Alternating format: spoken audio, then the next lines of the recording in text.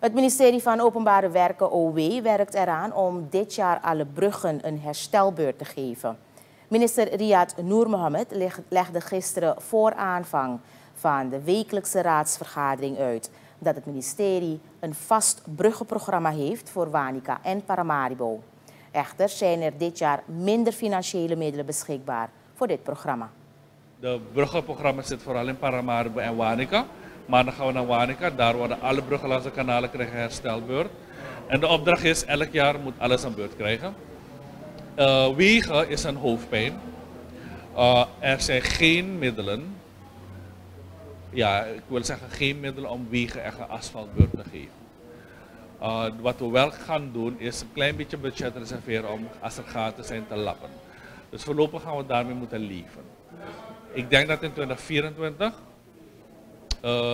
er ruimte zal komen en 2050 et cetera, zal er ruimte komen. Door die besparingen die ik nu doe, die gaan we dan volgend jaar stoppen om te kijken hoe we dat anders kunnen inzetten. Dit jaar moet er ook een evaluatie komen van alle grote bruggen in het land.